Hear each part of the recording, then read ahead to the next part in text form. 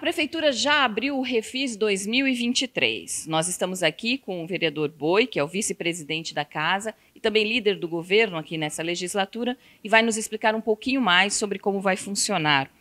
Boi, muito obrigada. Diz para gente o que é o Refis e quais são os critérios para participar.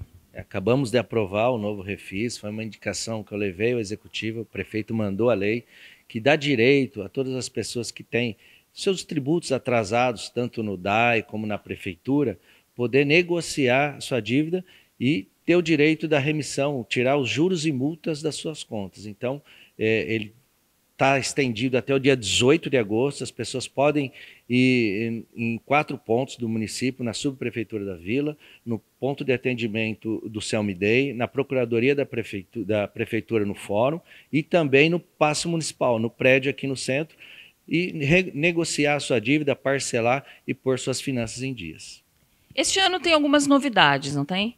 Sim, a gente conseguiu junto ao prefeito, dá o direito de estender o refis às empresas, CNPJ, que também na, na pandemia tiveram suas atividades muito prejudicadas e tiveram seu, suas, seus tributos, suas dívidas é, também atrasadas. Então, hoje, as pessoas, as empresas tão, vão ter o direito também ao refis. E de outra forma também, a primeira lei que veio, é, não dava direito a uma pessoa que fez sua remissão e com as dificuldades também não conseguiu arcar é, com esse parcelamento, estava prejudicado de não poder participar desse refis. Agora já foi também mudado essa lei, então todo mundo que mesmo que já fez um parcelamento vai e não conseguiu honrar, vai poder refazer é, o parcelamento e, e, e aproveitar esse refis. Muito obrigada. Se você tem interesse em aderir ao Refis 2023, fique atento a prazos e critérios. Podem ser negociadas dívidas relativas a IPTU, Imposto sobre Serviços de Qualquer Natureza, o ISSQN, multas municipais e débitos do DAI. Pessoas físicas poderão ter descontos de 50% a 100% sobre juros e multas. As dívidas poderão ser parceladas em até 48 vezes.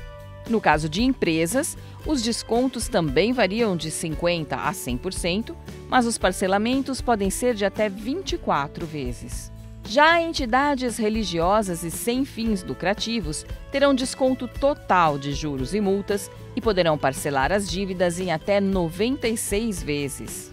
O refis estará disponível até 18 de agosto.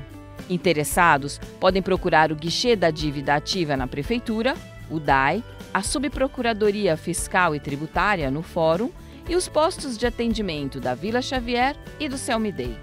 Mais informações podem ser obtidas no site da Prefeitura www.araraquara.sp.gov.br.